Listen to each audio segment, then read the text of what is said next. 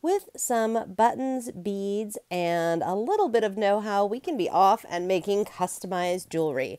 Hello, May Flaum here for the Dress It Up Button Shop, and today I'm going to show you how I am turning Minnie Mouse button into a necklace. For this project, so I have a wood pendant piece. These are just blanks that I have from a very long time ago, and I thought this would make a really fun necklace piece, although you could make a lot of different types of things with it.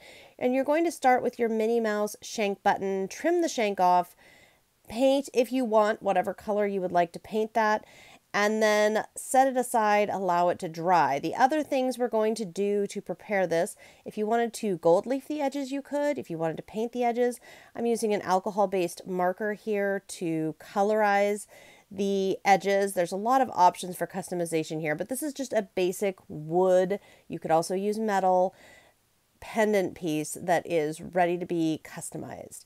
The next thing I'm going to do is get out some crafty glitter glue and I'm spreading this all around on the front.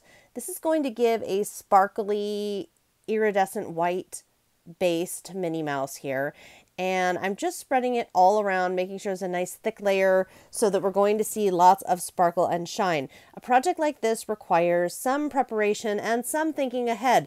So for example, I could see that Minnie Mouse was going to look great on there, but before I glue her on, I want to prep everything just so. Now I am using a glossy finish adhesive.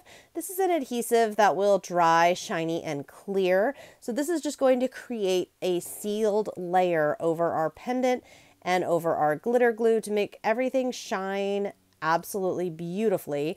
I'm also going to apply some of this to the back of my Minnie Mouse button, which has the shank removed, of course.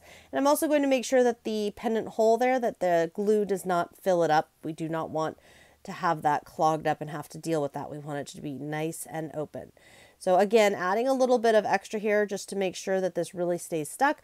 Once this is adhesive is dry, it is an archival clear drying adhesive, so it is going to really last and keep Minnie Mouse looking beautiful there. Lots of creative options as far as how you're making your pendant. And again, I mentioned what you do with your pendant. Now what I am doing here is I have a heart-shaped silver chain and I also have a bit of beading wire that I have clamped onto one end of my chain. Now I'm just going to string beads. These Jesse James beads mini mixes are available on the Dress It Up button website for sale. And the fun thing about these is there's not just beads, but it's a whole mix. There's little tassels, there's charms, there's rhinestone beads, there's small beads, big beads, decorative beads. And what I love about this is I don't always have all of these assortments of beads around, but Purchasing these mini mixes gives me a lot of options with only a few products and they store together nicely. So if you are not, if you only do the occasional beading, these are great products for you because they're so self-contained, easy, easily stored, and would work for so many things. Now I'm just keeping this really simple. I'm just going to string all of these beads fairly randomly all along here. Once the wire is full, I will just loop it through the other end of the chain and clamp it down. Depending on what kind of jewelry making tools you have, what kind of supplies you have, and what methods you prefer, there's lots of different ways to do this. I'm going to just skip ahead here because this is just a little tedious as I pull the wire through and get everything just so. Once we do though, it's time for jump rings and finishing touches. So with jump rings, remember you want to pull, you don't want to pull them apart, you want to twist so that you're opening it but not stretching out the circle. And then I've got my little tassels here. I'm going to be adding a few of these to my chain just for a fun little extra added embellishment. I think that's a lot of fun and it adds movement, it adds detail.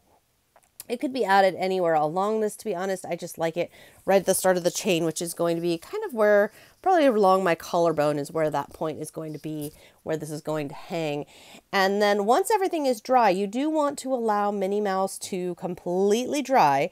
Once she is all dry, you're going to use a larger jump ring and do the same thing, but you're going to look at the beads, figure out where the center is, and you're going to put that jump ring through the pendant and then through the beads. So between two beads, depending on where center is. And then remember that with your tools, you're twisting to open and close, not pulling apart. Once this is done, you guessed it, it's ready to wear, whether you're headed to a Disney park out on the town or this is a gift for a friend.